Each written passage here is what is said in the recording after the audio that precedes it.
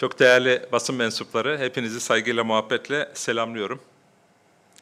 Malumunuz 11 Eylül'de Ankara merkezli bir operasyonla 47 avukat, dün ise İzmir'de 55 avukat gözaltına alınmıştır. 2016'dan bu yana 1500'den fazla avukat terör suçları gerekçesiyle yargılanmaktadır. Aralarında kuvvetle muhtemel suçluların da olması doğaldır. Bunları hukukun üstünlüğünü esas alan bağımsız yargı belirler. Ancak hepimiz biliyoruz ki açılan soruşturmaların başlığını FETÖ veya PKK operasyonu koyunca yargısız infazın meşru kabul edildiği, savcının hukuku işletemediği, gazetecilerin üzerine gidemediği bir korku iklimindeyiz. Hem avukatlar hem de mağdurlar sindirilmiş vaziyette. Değerli arkadaşlar, sırf avukatlık faaliyetleri nedeniyle kimse terör örgütleriyle ilişkilendirilemez. Avukatlar gözaltına alınamaz. Avukat herkesi savunabilir. Çünkü savunma herkesin temel hakkıdır. Gerek hırsızlıkla suçlansın, gerek yağmacılıkla suçlansın, gerek terör suçlarıyla suçlansın, herkesin avukat tarafından savunulma hakkı hukuk devletinin olmazsa olmazıdır. Bu avukatın da suçlu olduğu anlamına gelmez. Avukatlar müvekkilleriyle özdeşleştirilemez. Avukat yasalara göre savunma görevini ifa eder. Savunma hukuk devleti alfabesinin A harfidir. Savunma olmazsa hukuk devleti olmaz. Değerli arkadaşlar, unutulmamalıdır ki tarihte hiçbir iddia makamı yazdığı iddianame ile anılmaz. Ancak farklılıkları demokratik toplumun temel taşı kabul eden hak savunucusu hukukçular tarihe altın harflerle geçmiştir. Tarihte savunma hakkının kısıtlanması ancak ve ancak iktidarın ve yöneticilerin siyasi iktidarını kaybetmeme adına hukuku ayaklar altına aldığı otoriter ve baskıcı yönetimlerde görülmüştür. Değerli arkadaşlar, bir kez daha iktidarı, yargıyı, emir ve talimatla tek bir kişinin isteklerine göre şekillendirerek keyfi gözaltı ve tutuklamalarla avukatlara yönelik her türlü baskı ve keyfiliğe son vermeye davet ediyorum. Ve iktidara açıkça soruyorum. Adalet Bakanlığı'nın yıllık yayımladığı adli istatistiklere göre silahlı örgüt suçlarına ilişkin 2016-2019 yılları arasında toplamda 1 milyon 367 bin 733 soruşturma açılmış. Bakın 1 milyon 367 bin 733 soruşturma 3 yıl içerisinde. Bu ülkede bu kadar insanın terör örgütü üyeliğinden şüphelenilmesi sağlıklı bir durum olabilir mi? 83 milyonluk bir to ülkede toplumun takriben yüzde ikisi terör örgütü üyesi olarak suçlanabiliyorsa ve bu ihtimalde gerçekten devlet ciddi ise kafamızı kumdan çıkararak çok daha derin sorunlarımızdan bahsetmemiz gerekmez mi? Varsayalım ki iddialar doğru. Bu ülke devamlı kendine düşman yetiştiriyorsa, o zaman sorunu ötekileştirip üzerini kapatmak yerine sebebini sorgulamamız gerekmez mi?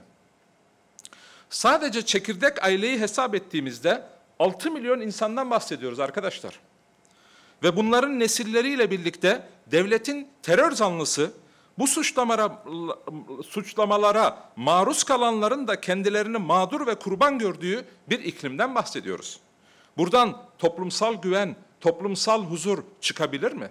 Toplumsal huzurun olmadığı yerde hukuk devleti arzu edilen düzeyde uygulanabilir mi?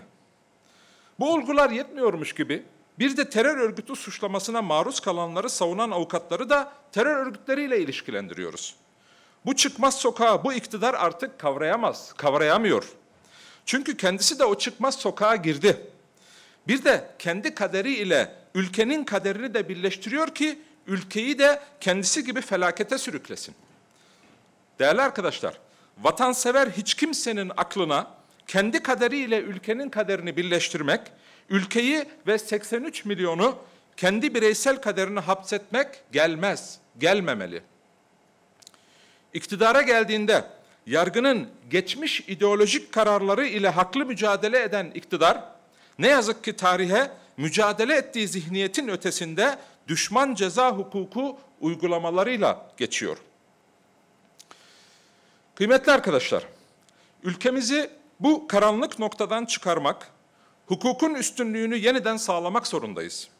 Deva Partisi olarak vatandaşlarımızın barış ve huzur içerisinde adil, özgür, geleceğe güvenle bakan bir toplumda yaşama hakkını savunuyoruz. Güzel günlerin, seçimlerin ardından geleceğine de yürekten inanıyoruz.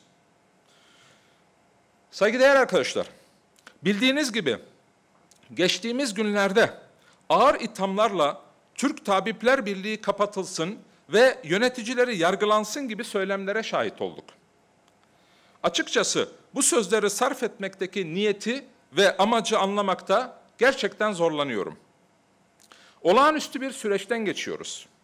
Ülkemizde de maalesef aynı süreç yaşanıyor. Birinci dalganın başlangıcından çok daha kötü bir durumdayız. Bu dönemde iktidardan vatandaşlarımızın yaşam ve sağlık haklarını korumak adına tüm önlemleri almasını ve veri paylaşımında da şeffaf olmasını istemek kadar doğal başka bir talep olamaz. Hekimlerimizin çok büyük ekseriyetinin üye olduğu Tabipler Birliği de bu önlemlere dikkat çekiyor. Halkı daha dikkatli olmaya çağırıyor. Yetkililerin süreci şeffaf yönetmesini ve sağlık çalışanlarının haklarını korunmasını talep ediyor. Bu açıklamaları ihanet olarak nitelendirmek abesle iştigaldir. Sorumluluk sahibi hiç kimse bu gerçekliğe dikkat çekmek isteyen Tabipler Birliği'nin kapatılması için çağrı yapamaz. Gerçeklikten bu kadar kopuk olanlar sadece trajikomiktir. Akıllarına tek gelen şey böl, parçala, kendine tabi kıl ve toplumun meseleleriyle tüm e, kurumları duyarsız, ilgisiz, kayıtsız, sadece iktidarı kutsayan bir hale getir. Temel amaç bu. İktidar da bu doğrultuda her türlü faaliyeti yapmaktadır. Ayrıca siyasilerin ötekileştirici nefret dili, sağlık çalışanlarına yönelen şiddetin en temel sebeplerinden biridir. Bu unutulmaması gerekir. Eğer bugün ülkemizde farklı farklı yerlerde sağlık çalışanlarına yönelik saldırılar gerçekleştiriliyorsa bunun sebebi nefret dili kullanan, hekimleri hedef gösteren siyasi kişilerdir. Ankara'da Keçiören Eğitim ve Araştırma Hastanesi'nde bir yakınları vefat edince sağlık çalışanlarına saldırmayı kendine hak gören insanlar işte bu nefret dilinden beslenmektedirler. Değerli arkadaşlar, herkesi özellikle böyle olağanüstü bir dönemde tüm sağlık çalışanlarına saygı göstermeye ve onların haklı taleplerini dikkate almaya davet ediyorum. Ayrıca bu vesileyle çok zor şartlar altında görev yapan ve hayatlarını riske atan bu tüm hekimlerimize ve sağlık çalışanlarımıza da şükranlarımızı sunuyorum. Kıymetli arkadaşlar, Son olarak hepinizin malumu Van kırsalında iki vatandaşımız resmi açıklamalara göre askeri operasyon kapsamında gözaltına alınmıştır. İki gün sonra Van Bölge Hastanesi yoğun bakımında bulunmuşlardır. Valilik kişilerin gözaltına alındığını açıklamıştır. Ancak olayın tanığı köylüler kişilerin operasyon sırasında alınıp askeri bir helikoptere bindirilerek görüldüğünü beyan etmektedirler. Bakın görgü tanıklarına göre kişiler o anda sağ ve salim haldeler. Olayın oluş şekli, anlatım şekli itibariyle gözaltı gibi olaydan bahsedilmemektedir. Resmi açıklama ile olayın tanıklarının ifadeleri birbirinden tamamıyla zıttır. Valiliğin açıklaması ise gayri ciddidir. Ve gayri ciddi olması sebebiyle de hem şu anda köylüler hem olayın mağdurları yani hayati tehlikeyle karşı karşıya olan insanlar tehdit ve baskıyla susturulmaya çalışmaktadırlar. Bu iki vatandaşlarımızın, vatandaşımızın helikopterlere bindirilmesinden sonrası süresi gerçekten meçhuldür. İşte biz hukuk devleti olmuş olsaydık hemen bu meselenin üzerine gidilir. Söylemde ifade edildiği gibi nasıl işkenceye sıfır tolerans deniliyor, eylemde de işkenceye sıfır toleransın gereği olarak hemen İçişleri Bakanı açıklamasını yapar. İşkence ülkemizde işkenceye hiçbir şekilde tahammülümüzün olması söz konusu olamaz der. İlgilileri açığa alır. Ondan sonra da soruşturmasını başlatır ve bu ülkede işkence yapan herkes en ağır bir biçimde cezalandırılacaktır şeklinde de meselenin altını çizer. Ama maalesef Türkiye böyle bir ülke değil. Türkiye İçişleri Bakanlığı'nın himayesinde Türkiye'nin birçok yerinde artık sistematik bir biçimde işkence ve kötü muamele uygulanmakta ve bu uygulamalar karşısında da yetkililer adeta bu uygulamaları savunur edasıyla üzerini kapatma çabası içerisindedirler. Değerli arkadaşlar, bu vatandaşlarımızla ilgili de çok ciddi manada darp ve işkence yapıldığına dair somut veriler vardır. Bu somutların üzerine gidilmesi her birimizin bu ülkede hukuk devletine, demokrasiye inanan her bir insanın öncelikli sorumluluğudur. Bu çerçevede olayla ilgili başta Milli Savunma Bakanı Sayın Hulusi Akar olmak üzere İçişleri Bakanı Sayın Süleyman Soylu'ya cevaplamaları istemeyle meclis başkanlığına soru önergesi verdim. Bu vahim olayın aydınlatılması ve sorumluların bir an önce ortaya çıkarılması, yargı nezdinde olayın hesabının sorulması şarttır. Aksi takdirde geçmiş dönemlerde olduğu gibi sürüncemede bırakılan soruşturmalar ve neticesiz kalan olaylar kervanına bir yenisi daha eklenecektir. Ve son yıllarda çokça şahsen de rastladığım bir durumdur. Bizzat verilerle müşahede ettiğim, kayıtlarla tespit ettiğim olaylarla ilgili bile İçişleri Bakanlığı maalesef elinde olan tüm imkanları seferber ederek olayların üzerini kapatmak için elinden gelen çabayı ortaya koyduğunu bilmekteyim.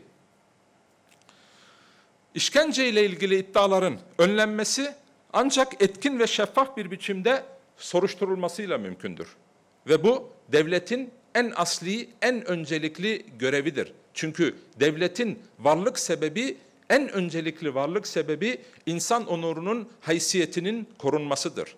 Eğer insan onurunu, haysiyetini koruyacak noktada bir devlet yapılanması söz konusu değilse, o devletin meşruiyetinin tartışılmasının önüne geçilmesi maalesef mümkün değildir ve bu ülkesini seven her bir insan da devletin bu sorumluluklarının yerine getirilmesi noktasında mücadele vermesi vatandaşlık görevi olarak en öncelikli sorumluluktur.